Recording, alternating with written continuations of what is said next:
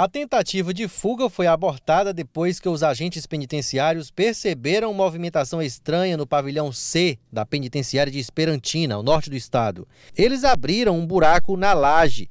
O fato aconteceu na madrugada dessa quinta-feira e pelo menos 26 detentos das celas 7, 10 e 11 estavam envolvidos.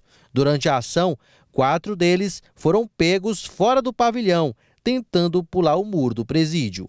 Os nossos agentes fazem, estão sempre dentro do, dos pavilhões, fazendo vistorias constantes, né?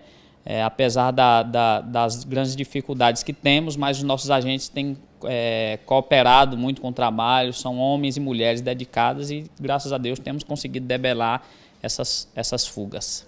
Além dessa tentativa de fuga abortada, a Polícia Militar, através da Rony, conseguiu prender Wesley Jackson Lima, foragido da casa de custódia do último dia 28 de maio deste ano. Então, a Polícia Civil, através do aplicativo DEPRE Homicídios, recebeu a denúncia da localização dele e resolveu agir e encaminhar o preso de volta à Justiça. A gente precisa ressaltar a cooperação do delegado Alessandro Barreto, né, que junto com a sua equipe, que, no, que recebeu essa denúncia e, e, e, nos repassou e esse preso foi recapturado é, é, a contento.